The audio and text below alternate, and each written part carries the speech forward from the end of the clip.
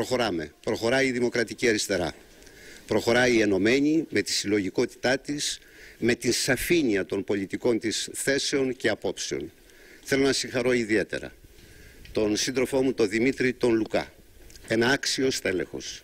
Ένα στέλεχος που προστίθεται όπως και εγώ και όλοι και όλες σε αυτή την μεγάλη προσπάθεια της δημοκρατικής αριστεράς.